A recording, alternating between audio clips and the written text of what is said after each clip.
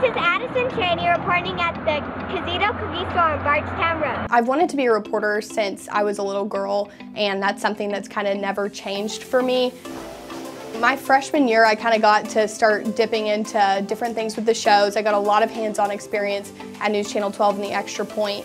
And same thing my sophomore year, kind of going up in the track and learning some more. And then my sophomore year winter break, I got an internship at a news station in Louisville, WDRB News, and was able to be there for about five weeks, was there full time, working all the different shifts. And I really got to use the knowledge I've learned at WKU and apply it there, and it set me really far ahead of a lot of the other interns. Now that I have experience actually working in the industry, I think I have a different perspective than a lot of people. Just doing it through the student channel, I can kind of see where these things can transfer into the real world. I want to tell people's stories here, and there are so many important stories here.